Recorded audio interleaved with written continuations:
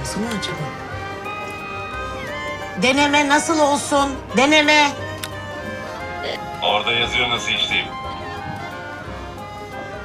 Nerede yazıyor? Al al bakınma be. Davlumbazın orada.